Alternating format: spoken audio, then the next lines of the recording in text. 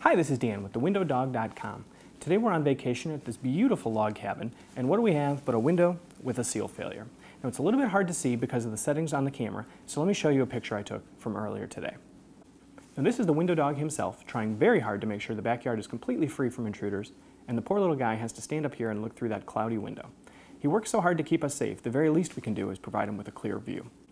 Now a seal failure is caused when the seal between the two panes of glass has failed, allowing outside air to get in, bringing with it moisture that leaves a film. So you'll get a, a, condensation or a fog in between the glass that you can't wipe off.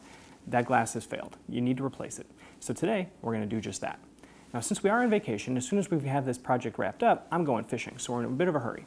To get started, we're going to get this couch out of here, we're going to get these blinds off, and we're going to start taking it apart. Once we get the window apart, we'll be able to get the exact measurements of the glass unit, We'll order up a new one, and through the magic of online video, we'll have this window fixed in just a few minutes. It's going to be fun.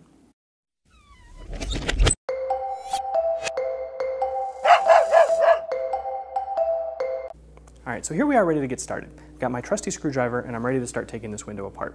Now this is a wood window, so it's held together with screws, which makes it relatively easy to work on. Other windows you might have would be vinyl or fiberglass or different things, and those will come apart differently. We'll show you those in an upcoming video. For now, it's just screws.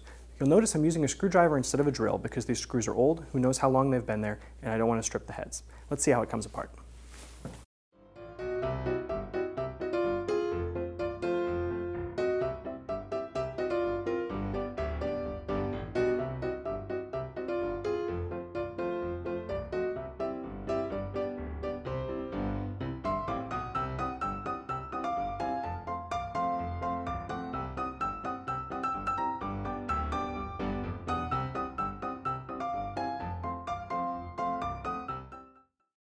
Here we are out on the deck where we have a big table with plenty of space to work.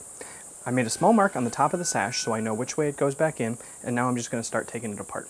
If you think it might be too complicated for you to remember which pieces go where, I'd say take a couple of pictures of it with your phone as you're taking it apart so you have something to look at uh, when you're putting it back together. I'm a trained professional, so I'm going to skip that step. Let's see how it goes.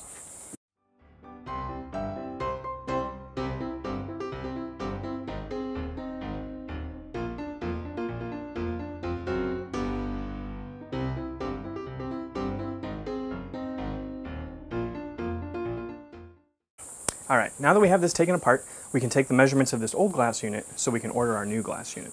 The measurements you're going to need are the width, the height, and the thickness. Don't forget the thickness. When you need to order this up, it'll take a couple of days, maybe a week, for your local glass fabricator to, to make you another sealed unit, so you can just put this unit back together. It only took us a few minutes to take it apart, it only took us a few minutes to put it back together.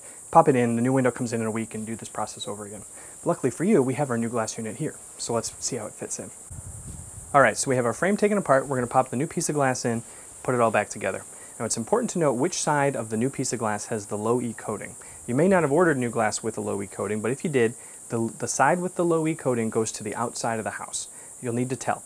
Now we may make a new video on a couple of ways you can tell. In this case, our new glass unit came with a sticker on it that says which side it's on, so that makes that pretty easy. Let's get it put back in and we'll get it put together.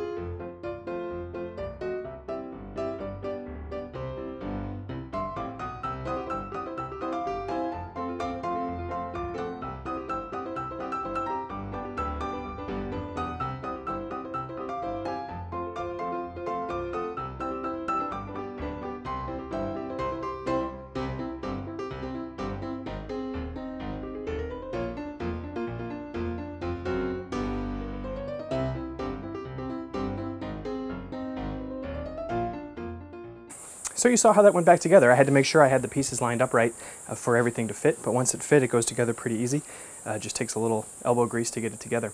Now we're going to clean it all up on the inside and the outside, and then we'll stick it back in the opening, put the couch back, and we'll be all set. Well, there you have it, folks. This project is complete. We screwed the sash back together, we popped it back in the frame, put the blinds up, slid the couch over, and all is well. Uh, no, Frisco the window dog has a much better view out of the back window, uh, which will certainly keep us safer on these lonely nights out here at the cabin. It got a little hot in here with the air conditioning off, but I just fired it back up. Things should be back to normal in no time. So I'm going fishing. Hope you found this video to be helpful. Remember, you can find the greatest replacement window information on the entire internet at our site at thewindowdog.com. We hope you find it helpful, and we'll see you again next time.